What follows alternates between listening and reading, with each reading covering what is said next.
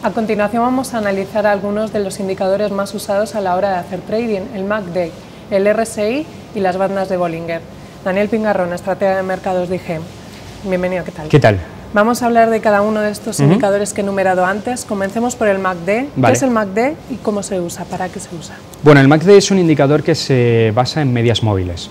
Lo que hacemos es calcular medias móviles a distintos periodos y luego eh, las enfrentamos entre sí, con eso obtenemos un cruce y básicamente nos está dando eh, la dirección del mercado por un lado, si estamos en una tendencia alcista o si estamos en una tendencia bajista, eh, y por otro lado también un poco la intensidad de esa tendencia.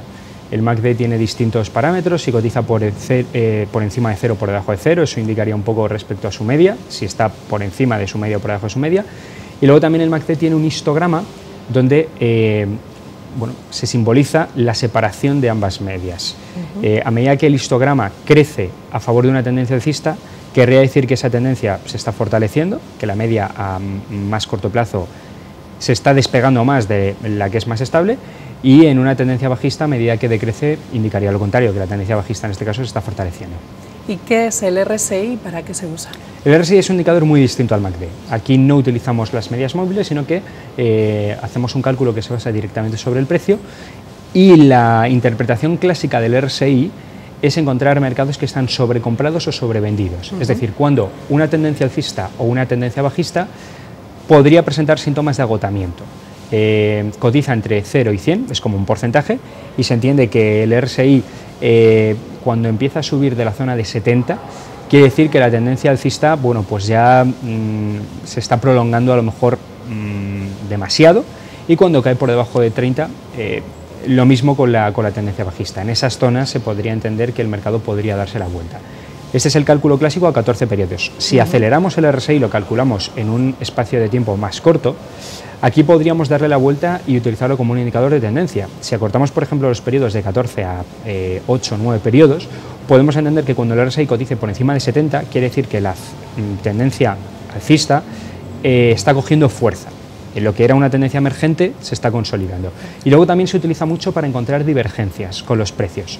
Si tenemos que los precios continúan subiendo, pero el RSI empieza a aplanarse o a darse la vuelta, eso podría ser interpretado como una divergencia bajista y también una señal de que el mercado podría darse la vuelta.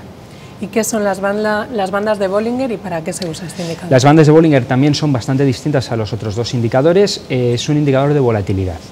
Básicamente es un indicador que coge la desviación típica de los precios eh, y con eso eh, tenemos mm, dos bandas, una banda superior y una banda inferior, y una media móvil que sería la banda media. Eh, se entiende que por un lado cuando las bandas de Bollinger están contraídas, quiere decir que la volatilidad está disminuyendo, es muy pequeña, el mercado se estaría moviendo con una lateralidad.